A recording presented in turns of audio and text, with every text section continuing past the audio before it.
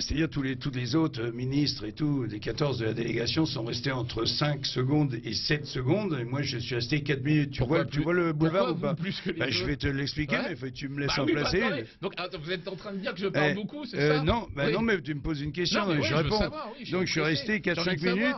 Je suis resté pauvre, euh, pauvre J'ai enculé, je de t'emmerde, je t'encule, d'accord, je t'emmerde. C'est plus possible. Euh, donc, euh, si, si, tu vas voir, d'une manière euh, posthume, euh, ça, ça va, ça va se faire. Tu vas sentir dans, dans le lit euh, ce Alors, soir. Et, euh, et, et je ne rentre sur scène qu'après avoir fait cette prière. Pauvre enculé. Euh, Vous parlez à qui? Le- Ah ouais, d'accord. Je préfère. Parce que ça va assez mal se passer, je vous le dis tout de suite.